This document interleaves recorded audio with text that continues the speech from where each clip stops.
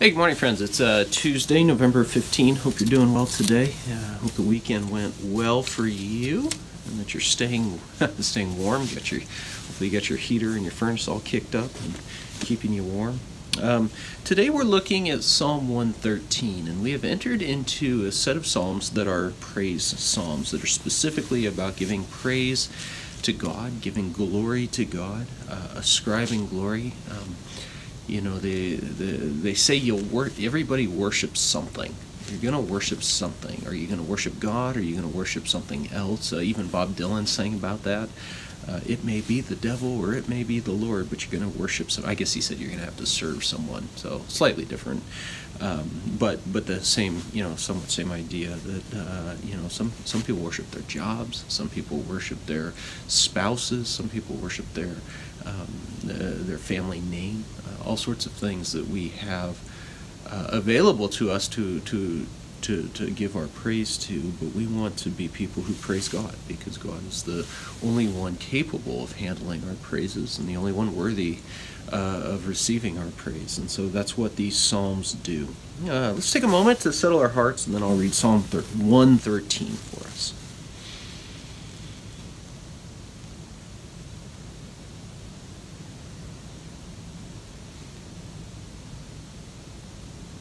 Praise the Lord.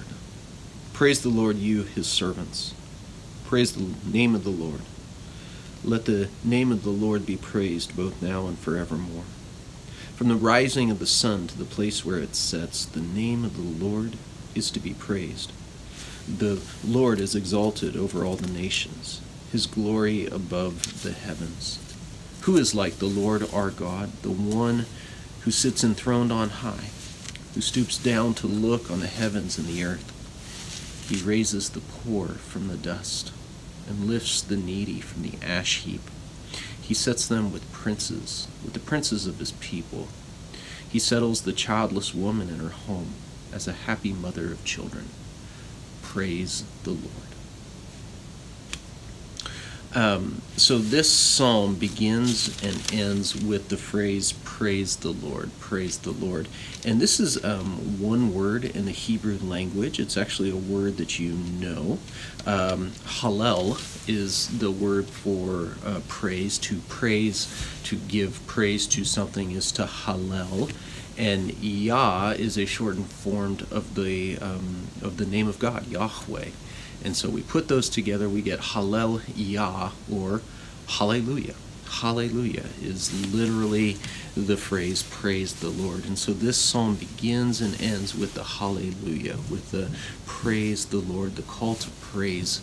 Um, not just praise any God, not just praise anything, but to praise Yahweh. That is the God to whom we are going to ascribe our praise. And so the psalm is is a praise psalm, but it's very specific in its praise. It's very specific in the one that it calls for us to give our glory to, and it's a it's a call for us to do the same as we live out our day to today. Are we going to live uh, our praises to God or to other things? And that's the choice we have today. So let's be people who who lift up the name of God in all that we do.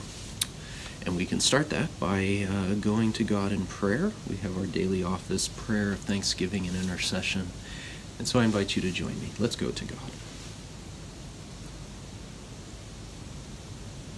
We praise you, God our Creator, for your handiwork in shaping and sustaining your wondrous creation. Especially, we thank you for the miracle of life and the wonder of living. We thank you for particular blessings coming to us in this day.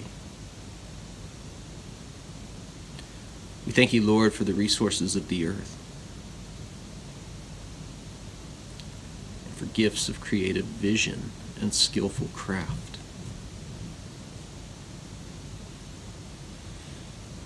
We praise you for the treasure stored in every human life invite you to lift up your own prayers of thanksgiving.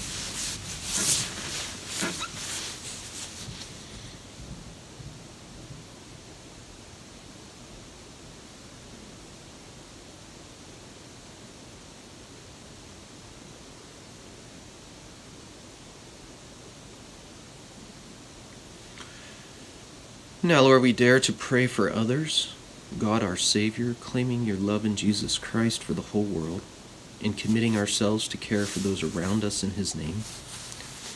Especially today, Lord, we pray for uh, those who work for the benefit of others.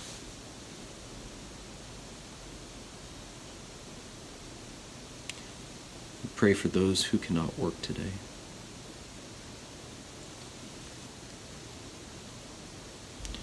We pray for those who teach and those who learn.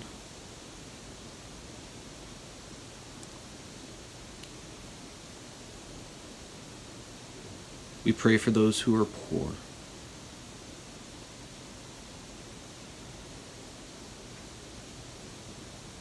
We pray for the church in Europe.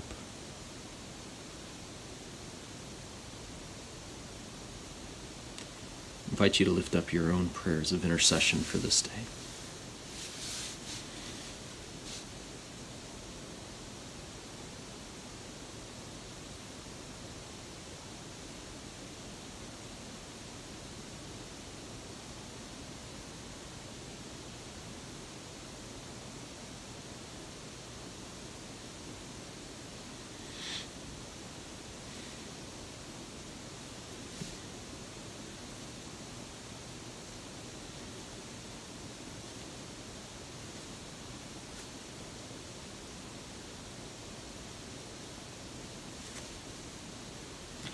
As you cause the sun to rise, O God. Bring the light of Christ to dawn in our souls and dispel all darkness. Give us grace to reflect Christ's glory, and let his love show in our deeds, his peace shine in our words, and his healing in our touch, that all may give him praise now and forever. Amen. Friends, I invite you to hear our dismissal for the day. May the God of hope fill us with all joy and peace through the power of the Holy Spirit. The Lord's bless the Lord. The Lord's name be praised. Uh, good to be with you. Hope your week gets off is getting off to a good start. Uh, God bless you today, friends. We'll see you soon. Take care.